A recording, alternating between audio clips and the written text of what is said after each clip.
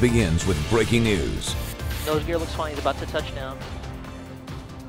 A plane full of passengers headed to San Diego forced to make an emergency landing at LAX. The pilots detected a mechanical issue that couldn't wait. Our attendance reporter Emily Thode is live at Lindbergh Field with more. Emily. Yeah, United Airlines flight 459 from Denver was supposed to land here in San Diego at Lindbergh Field at about 8:30, but it had to be diverted to Los Angeles. Let's take a look at some of the video that we have of that plane landing. So it, it did appear to be a smooth landing. The wheels came out and everything appeared to be just fine.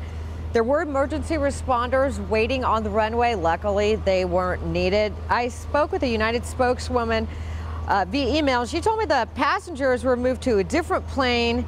They're supposed to be landing here in San Diego at any moment. As far as what was wrong with the plane, all she would tell me is there was a mechanical issue.